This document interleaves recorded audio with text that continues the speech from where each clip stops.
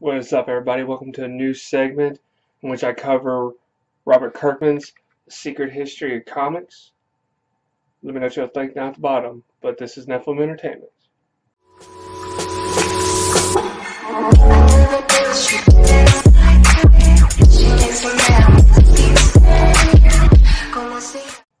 Hey everybody, this is Matt Uriel. Welcome back to my channel, Nephilim Entertainment. And I am going to cover a new segment, and this is my first impressions of Robert Kirkman's Secret History of Comics. It is a nice little show that Robert Kirkman, the creator of The Walking Dead, decided to do, which covers sort of, I guess, the more risque and sort of the behind-the-scenes kind of material about the comic books and the history behind them. And I mean, this is not going to be something that you're going to see on documentaries.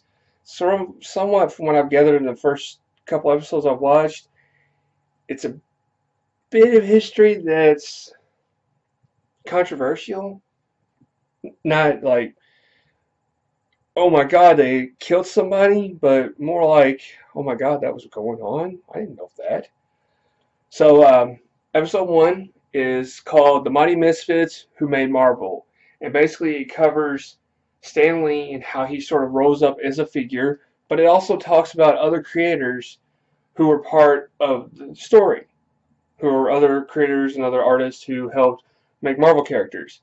And which going back to Stan Lee, apparently I didn't know this, but he wanted to be a writer. He never even wanted to really do comics because it was sort of the laughable thing of editorial.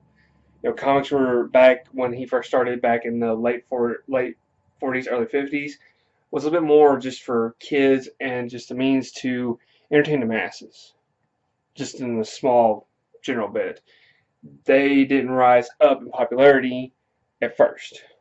And but after a while, of course, you know the history of how comic books came to be. Well, Stan Lee wanted to be a writer. He was really reluctant, so he made a last-minute gamble as far as being a writer. Whenever he was asked to do something that would compare with the Justice League of America, he came up with the Fantastic Four. Well, that blew up in a sense that it became very popular. So a high demand for comic books and comic book characters came to Stan Lee. Another character who you may recognize as being part of DC2 is Jack Kirby. And apparently he is as much behind the scenes as Stan Lee, if not more. And it lists a bunch of other characters. One particular is the creator of Spider-Man, who, ironically, his name escapes me. Because this is the point of the story that they were getting at.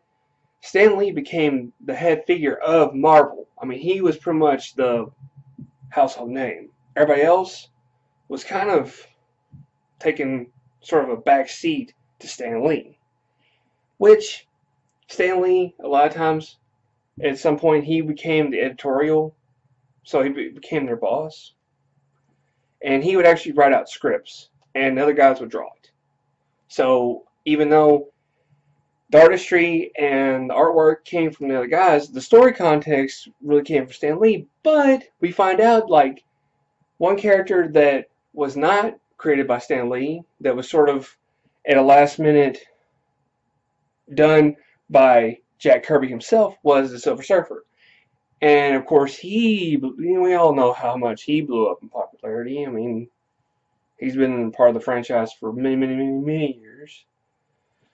So we find out that even though Stan Lee, I respect him and admire him as a nerd, he basically stole the spotlight from a lot of other guys. In fact, that's put him at odds with a lot of the other artists, including Jack Kirby. And part of the reason why Jack Kirby left was that he was not getting the recognition that he felt he deserved. Stan Lee does not know exactly the full context of why they left, but it's all theorized that they left mainly because of the spotlight. So, let me know what y'all think down below. Do you find this show interesting? I don't know if my summarization gave it enough justice.